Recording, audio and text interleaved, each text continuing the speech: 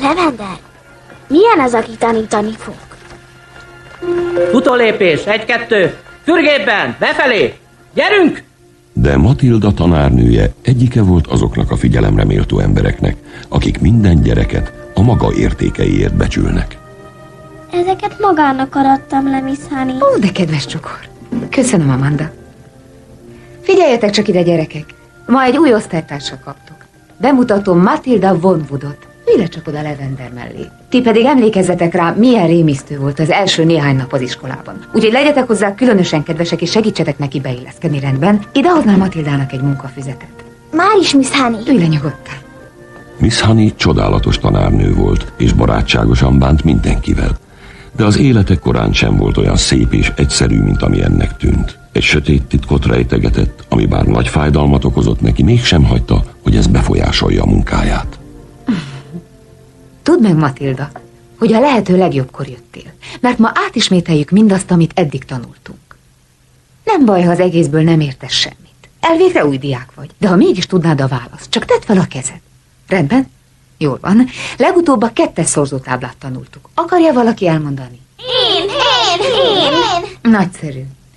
Akkor mondjunk el egy párat együtt. Hmm. Kétszer négy az? Nyolc. Kétszer hat az? Tizenkettő. Kétszer kilenc az? Tizennyolc. Kitűnő.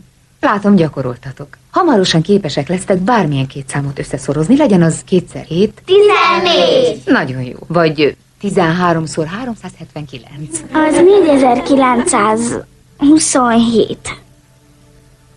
Hogy mit mondtál? Azt hiszem ez a helyes válasz. 13-szor 379, az 4927.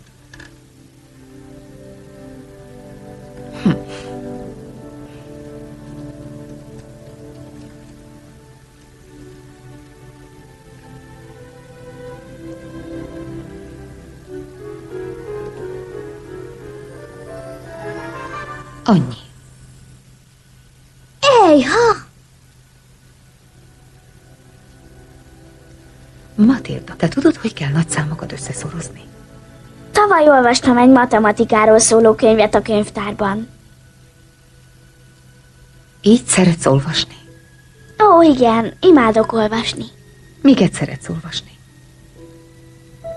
Mindenfélét.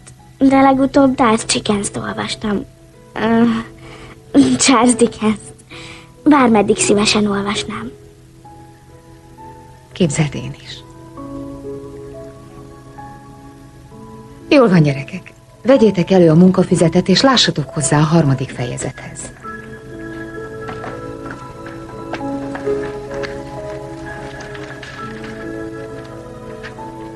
Egy perc, és újra itt leszek.